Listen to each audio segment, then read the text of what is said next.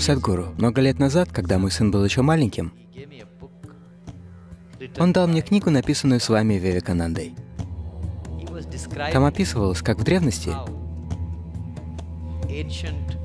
гуру могли с помощью мысли общаться друг с другом на расстоянии в тысячи миль. Фактически это похоже на современный интернет. Один компьютер может обмениваться данными с другим, находящимся в США, в Европе, где угодно. Вы верите, что человеческий разум можно научить влиять на разум другого человека или людей, находящихся далеко от него? Просто настроив разум на нужную волну. Можно ли этому обучить? Можем ли мы научиться этому искусству? Вы хотите оставить производителей мобильных телефонов без работы? Дело не только в разуме. Когда мы говорим «разум», под этим словом понимается только мыслительный процесс. Мыслительный процесс — это то, что лежит на поверхности вашего разума. Под влиянием европейской культуры мы слишком большое значение придаем мысли. В йогической науке мы не придаем значения тому, о чем вы сейчас думаете или что вы чувствуете. Потому что о чем вы можете думать? Вы просто снова и снова перерабатываете имеющуюся у вас информацию. Это несущественно. Все, что на поверхности вашего разума, продолжает крутиться у вас в голове. Это абсолютно бесполезно. Ваши мысли и эмоции сейчас — это лишь поверхностная часть вашего разума. У него есть более глубокие уровни. В санскрите есть много слов для описания разных аспектов разума. Есть один аспект разума.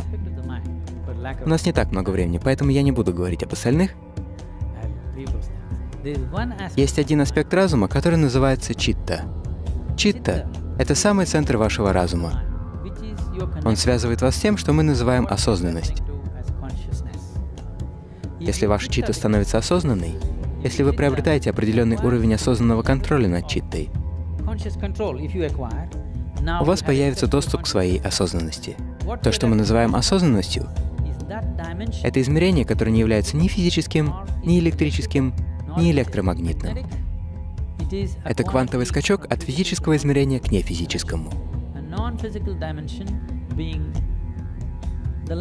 Нематериальное измерение является основой существования. Все материальное происходит в нем. Доля физического совсем небольшая. В этой вселенной меньше двух, даже меньше одного процента приходится на физическое. Все остальное не физическое. Для этого нематериального измерения в йогической терминологии мы используем особый звук, связанный с этим измерением. Сейчас все довольно сильно исказилось, но мы называем его Шива, что означает то, чего нет. Когда мы говорим Шива, мы не имеем в виду кого-то, сидящего там наверху. Мы говорим об измерении, которого нет. Но все, что происходит, берет основу в этом измерении. Поэтому, если вы хоть немного осознаете свою читту, возможным станет не только передать какую-то идею или мысль, возможным станет даже передать объект, передать что-то материальное —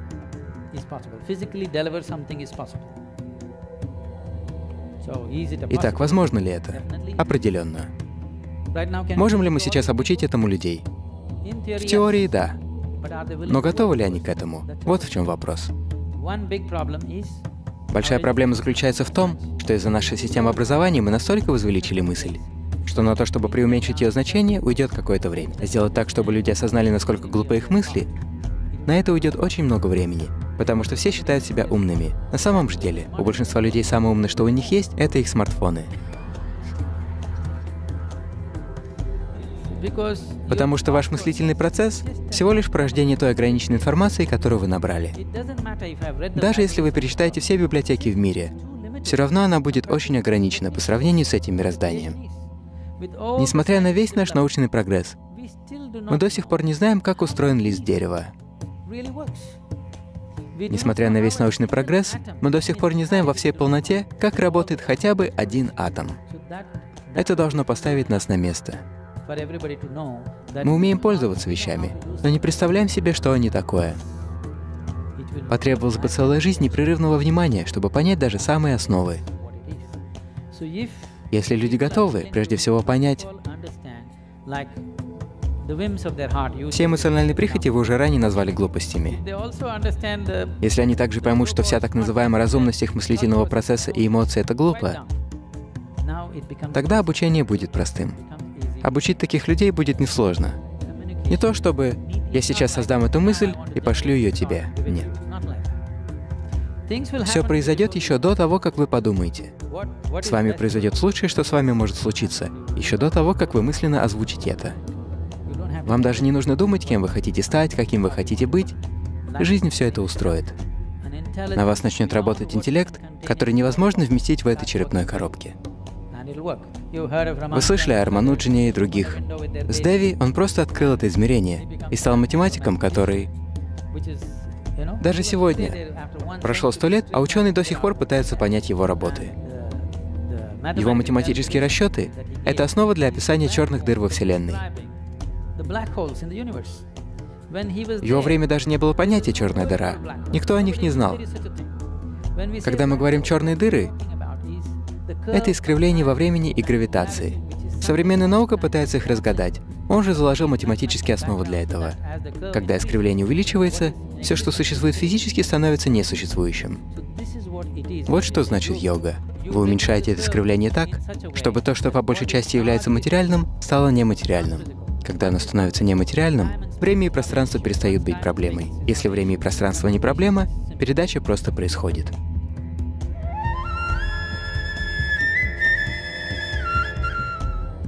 Одно из ваших ограничений и ваших проблем — очередная ерунда, которой страдают люди вокруг. Одна из тех вещей, которая должна уйти. Вы не можете полностью отказаться от этой идеи, хотя бы кто-то. Не правда ли? Потому что без трансформации пустая духовность. Разговор о духовности, как и действия, никуда не годятся. Некоторое преображение должно произойти. Пожалуйста, позвольте этому случиться. И тогда при жизни люди будут наслаждаться вашим обществом. Когда вы умрете, они будут скучать по вам. Вот так вы должны жить.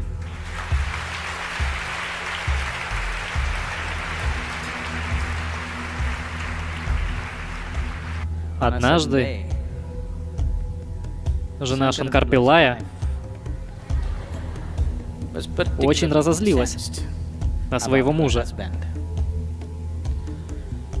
Она сварила суп и положила на пять ложек больше перца чили.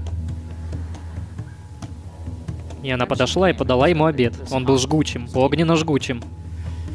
И ей стало интересно, что произойдет. Она открыла дверь, но он сидел и читал газету. Она говорит, суп готов, суп готов, суп готов. А он, да-да-да-да-да. И продолжает читать газету. Потом она захотела убедиться, неужели он не почувствовал перца? Он недостаточно острый? Она так подумала и решила проверить. Взяла и попробовала полную ложку. Она почувствовала настоящий пожар. Навернулись слезы. Слезы потекли. Как раз в тот момент Шанкар Пилай положил газету и подошел. Он посмотрел на нее и спросил, почему ты плачешь? Она говорит, помнишь, в том году умерла моя мама. Она так любила этот суп. Когда я увидела тарелку этого супа, я вспомнила маму и расплакалась. Ну не переживай так. Что поделаешь? Однажды мы все теряем наших отцов и матерей. Все в порядке. Затем Шанкаран Пиллай вернулся к своей газете и супу и, читая, съел одну ложку. Он почувствовал обжигающий огонь. Он съел полную ложку. Слезы потекли из глаз. А она подошла и спросила, «О, ты тоже так любил мою маму».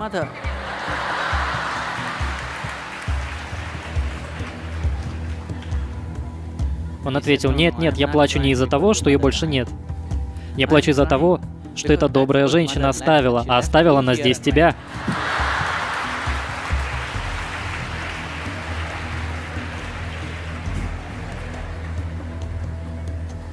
Это неправильный способ жить.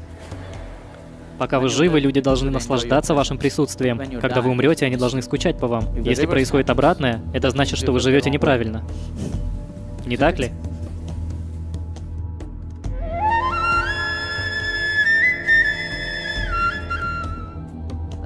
В повседневной жизни я часто сталкиваюсь со страхом, который мешает мне выполнять простые сложные дела.